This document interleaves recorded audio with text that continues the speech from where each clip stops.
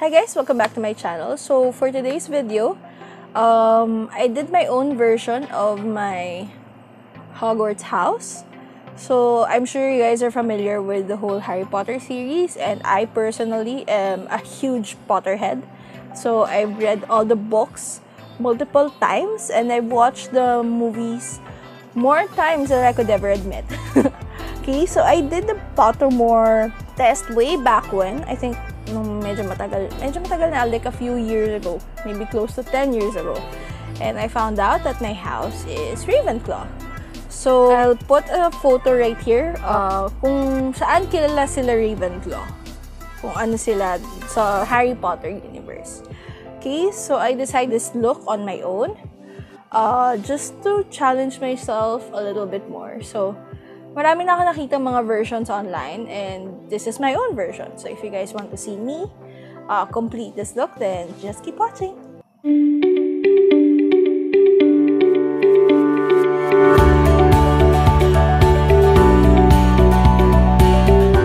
Right, I prepared. So, na-prime ko na siya. So, we're going to do one eye on camera kasi this look kind of takes me usually around 2 hours and I don't want to keep you guys uh, waiting for me to finish this look. So, gagawin ko lang one eye on camera para makita niyo lang din yung techniques and the colors that I'm going to use in order to, to create my own version of a Ravenclaw look. Okay? So for this video, we'll be using my Jeffree Star Cosmetics uh, Blue Blood eyeshadow palette. So this palette has a lot of really nice uh, blue shades. Ito yung mga shades natin with a couple of neutrals and daily in daily shades na pwedeng gamitin. But we'll be focusing, of course, on blue shades today to recreate yung Ravenclaw look that I tried out a few days ago. Okay? So first we'll start off with the shade Blue Blood. So it's this one right here. Okay. And I'll put that all over my lid as like a transition shade. There we go. So as you can see, it's really pigmented. I really love the blues in this in this eyeshadow palette. So talagang it really shows up with very minimal effort. Although, when it comes to blue shades, medyo mas mahirap nga siyang i-blend perfectly. So, kaya rin siya matagal kasi it really takes time for me to blend it out.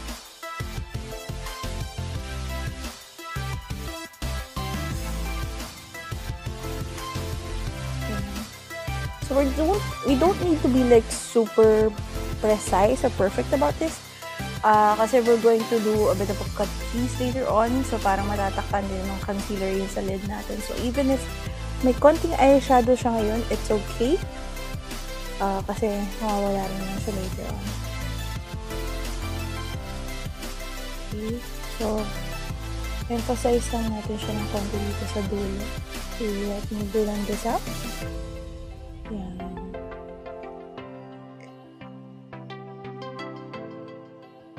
Okay. Yan. So, si Blue Blood is all over our lid. Our eyelid. So, we can now move on to the next shade. Okay, so we'll now use the shade Blue Monday. So, it's this one right here. Uh, as our crease shade. So, ito ilalagay natin sa crease natin. So, it's like this. Okay. Then, we'll start off dito sa edge ng eyes natin. Deepen it out and then So, blend in natin siya.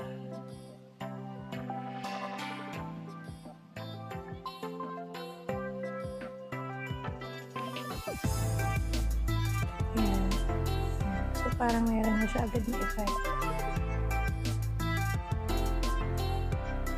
Medyo tataasan ko siya since I'm going to be uh, doing a cut crease.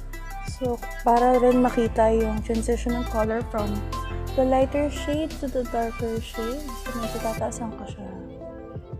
Konting-konti lang. Ayan.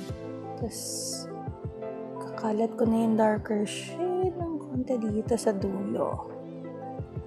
Okay. There we go. Yan. So, ganyan yung itsura niya ngayon. So, sa ngayon, medyo messy siya. But I've heard from like a couple of tutorials that eye shadow looks tend to look worse before it gets better. So, syempre, habang kinukumpleto natin siya, it will look even nicer.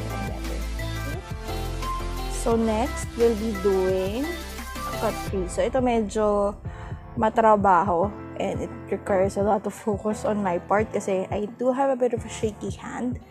So, we'll do that right now. For the cut crease, I'll be using my uh, Maybelline Full Coverage uh, Concealer. So, ayan siya. So, it's in the shade Light Medium. So, siya yung gagamitin ko ngayon to cut my crease. Okay? So, lagay ko lang siyang konti dito. Then, there's this trick that I found out. Kasi, if you look at my eyelids, may nakaka siyang maliit. So, what I found out that you could do is start at the middle.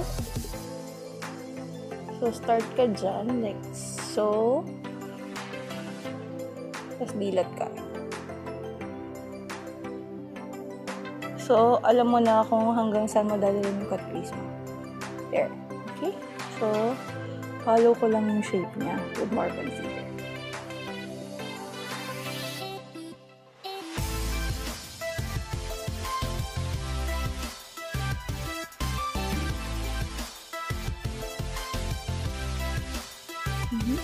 Na tayo. Then, follow the shape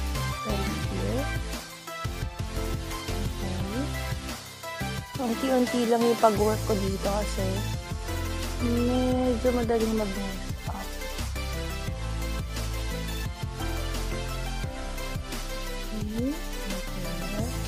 So, ngayon, ito, medyo messy pa siya. So, ito, I'll bring it, I'll wing it out. So,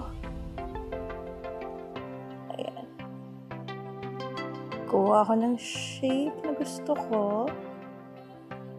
And then, naline ko lang siya right here. Then, pagkokonitin ko. Ayan. So, meron na tayong a bit of a concealer wing na i-fill in lang natin with more concealer.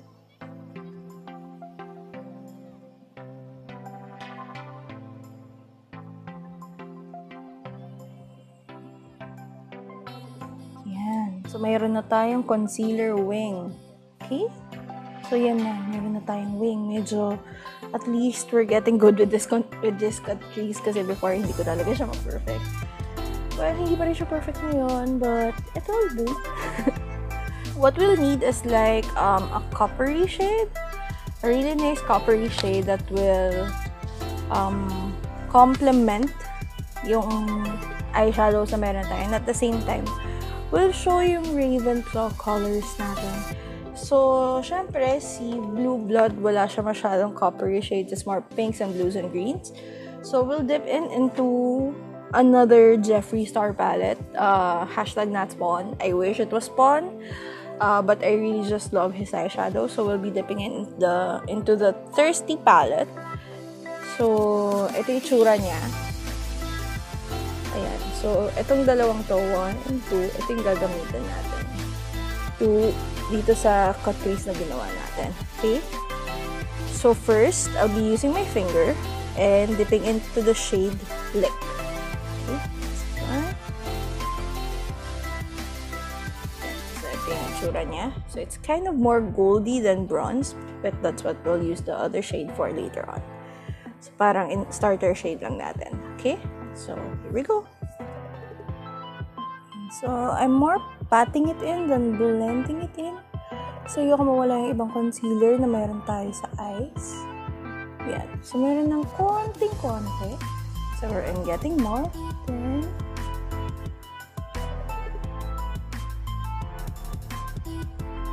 So, bubuin lang natin siya. Right there. Then we'll use a smaller brush to get the wing kasi masyadong malaking finger for this one.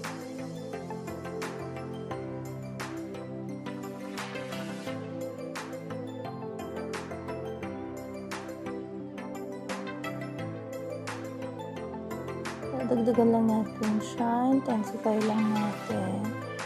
Then we'll put some on the wing, binuo natin.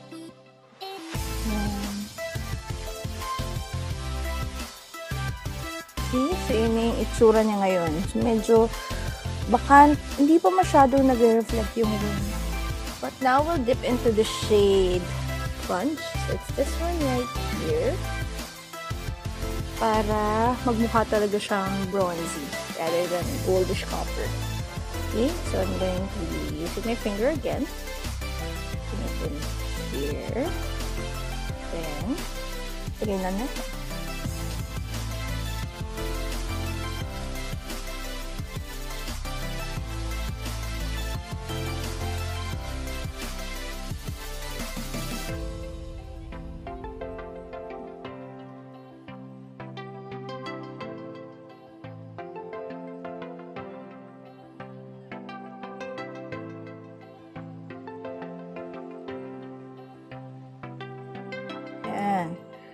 So, it's reflecting a bit too much, but now it's it's looking a bit more cop uh, bronze, which is one of the Ravenclaw colors.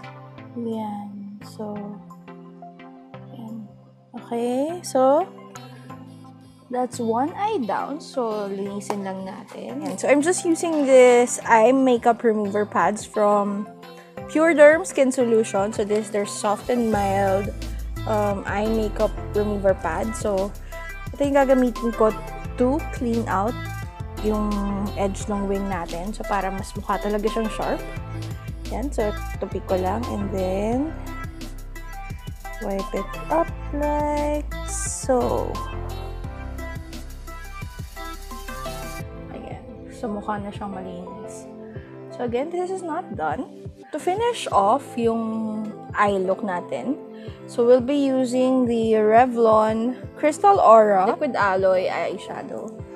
So, ang gagawin ko rito is iti-trace out ko lang yung line na ginawa ko with the concealer.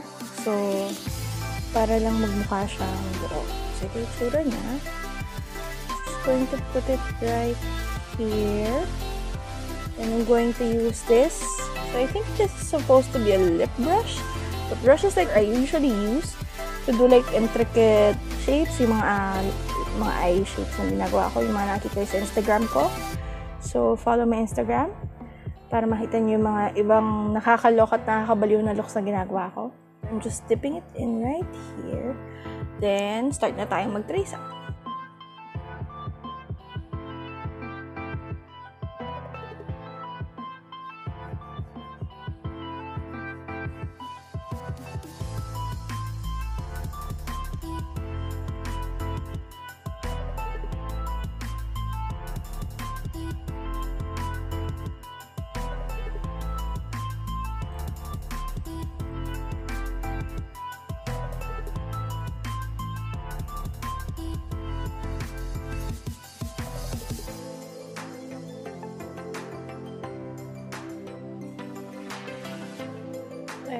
So, hindi siya masyadong makita kasi it's too shiny.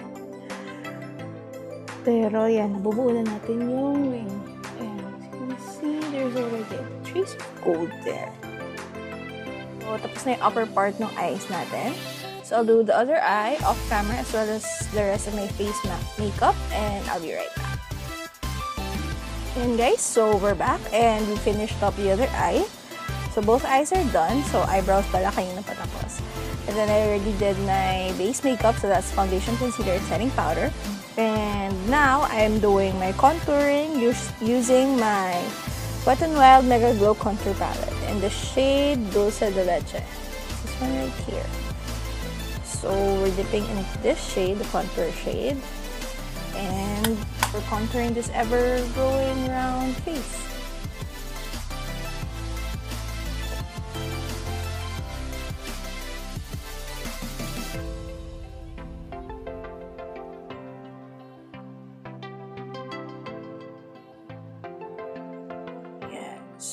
Gagawin na rin natin yung tri- trick natin na to with the chin. So, na-start ko na siya kanina. So, ngayon, mukha na akong may jawline versus Uh, wala. Let's emphasize this one even more. Yan. So, hindi ka mukhang nag-gain ng X number of pounds during ECG. Okay. Next is blush. So, we'll add a bit more color into these cheeks using the BYS Oh, oh My I'm Blushing Blush Palette. So, it's this one right here. Ayan. So, it looks like this. Ayan. So, marami siyang blush shades and we'll be dipping into this one. Really orangey one. Uh, to complement yung eye look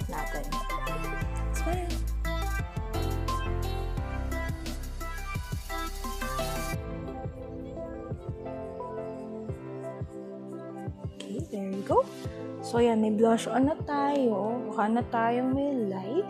So, before we move on to highlighting, so I think it's the perfect time to finish up yung eyes natin. So, we'll go back to our Blue Blood uh, eyeshadow palette and we'll go back to the shade Blue Monday. So, I'm using this flat brush to get a bit of shade. And what I'll do is I'll line yung bottom lash line ko muna using this.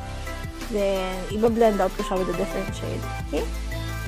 So, grab my mirror and here we go.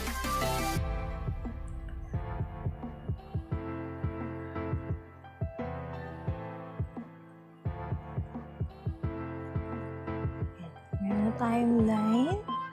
Then, let's do the other eye.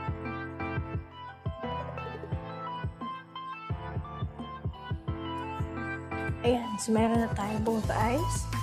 And now, we'll take yung gantong brush, a little blending brush, and we'll dip into the shade uh, Blue Blood. So, yan. Ito lang tayo. Blend out yung midline natin.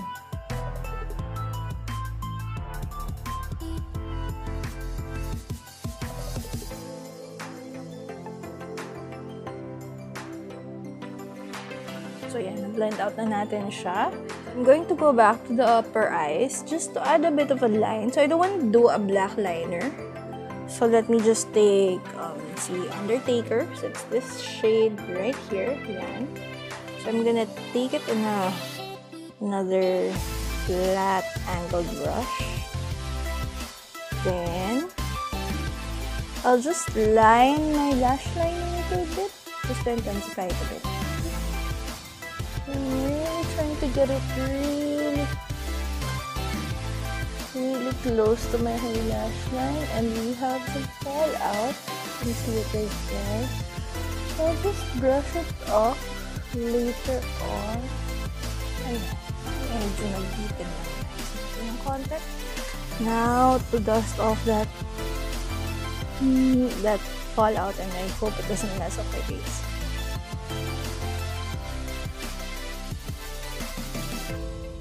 So, yan, may definition na tayo ng konti. Although, I'm looking in the mirror and I'm thinking that maybe we can extend this gold line a little bit more. Maybe? Let me see. Let me try it out with one eye first. Okay, so we're going back with the Crystal Aura Liquid Alloy Eyeshadow. So, it's this one. Okay, so we're going back to that and I'm going to see if I can extend the lines to my um, tear ducts. Wish me luck na hindi siya mag-mess up.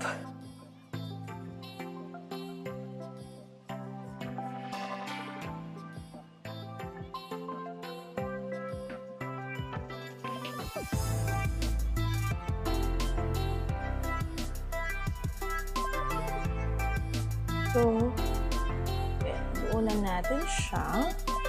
We try the other eye. Yes.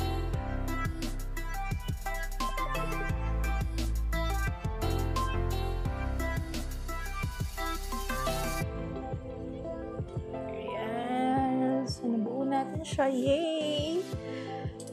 Our next step, uh, since medyo makapal yung makeup natin ngayon, uh, let me just do a quick setting spray just to melt the powders all together. So I'll be using my Innisfree No Sebum Setting Spray. So it's this one.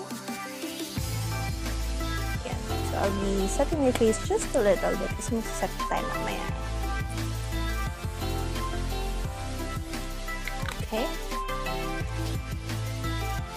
Just to make sure that the powders don't move kasi medyo nag-layer upon layer na tayo dito. Ayun na.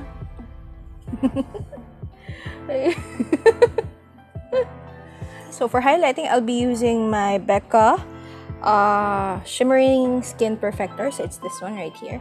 And I'm using the shade um, Champagne Pop. So again, uh, another cult favorite, I would say. So I used to use yung shade Topaz nila. Then one of my friends, uh, Giselle, hi Giselle.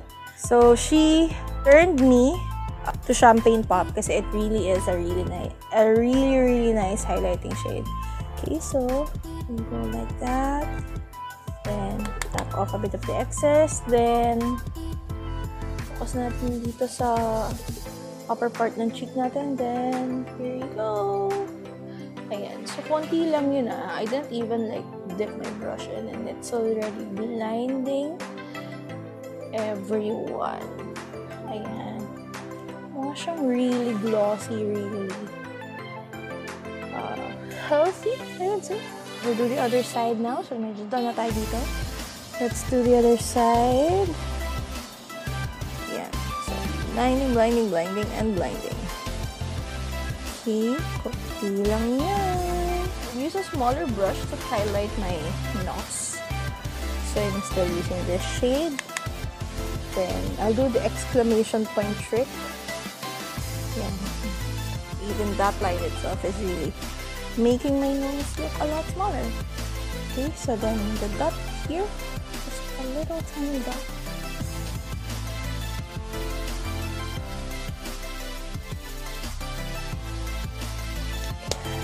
So we're done with the highlighter. We'll be doing silibs, which is a bit of a trick for me, or a tricky part for me, I would say. Kasi, um, I want to take this a bit further, but I am scared. okay. For lips, we'll be using the uh, Maybelline Superstay Matte Ink. So it's this one right here, and it's in the shade Amazonian. So it's a really nice browny nudie shade the mirror and let's go.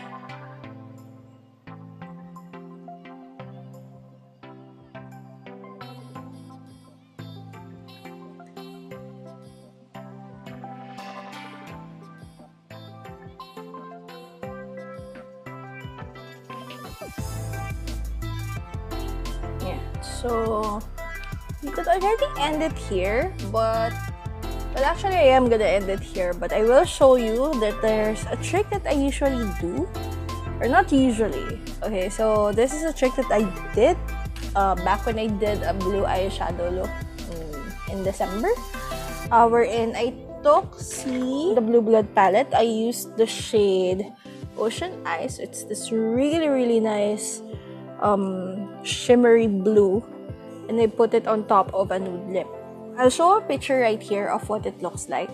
Para lang din may idea kayo how I did it before. Pero ngayon, I think, I think I'm pretty happy with the way this look turned out. Okay? I'll just finish up with some mascara and some setting spray and I'll be ready. Okay guys, so that completes this look. So what do you think? Um, personally, I think I did okay with my own rendition of the Ravenclaw eye makeup look. Um, I would be totally honest. I tried this look out last night uh, to practice lang din para alam ko kung ano yung gagawin ko when I'm shooting. Pero, nagka-problema ako last night dun sa cut crease because I couldn't for the life of me match it up. So, medyo masaya ako ngayon na mukha siyang pantay. At least in camera, it looks nice. Pero, yeah, it does look nice naman even in the mirror. So, at least napantay ko siya. No problems there. And then, with the rest of the makeup, I really like how this turned out. So, it's not so far from what I usually do. But again, with the cut crease and the eye look, I did manage to challenge myself yet again to blend out even more colors and to make it look different than what I usually do. Okay? So that completes this look. I hope you guys like this video. Uh, don't forget to like this video and subscribe to this channel Uh, let me know kung gusto niyo gawin ko yung ibang mga houses sa Hogwarts. Uh, and I'll do my best to recreate them. So there's Gryffindor, Hufflepuff, and Slytherin. I think Slytherin is gonna be the most challenging because green eyeshadows are really hard to do or really hard to blend. So yeah. So thank you guys for watching and I'll see you in my next video. Bye! We'll be right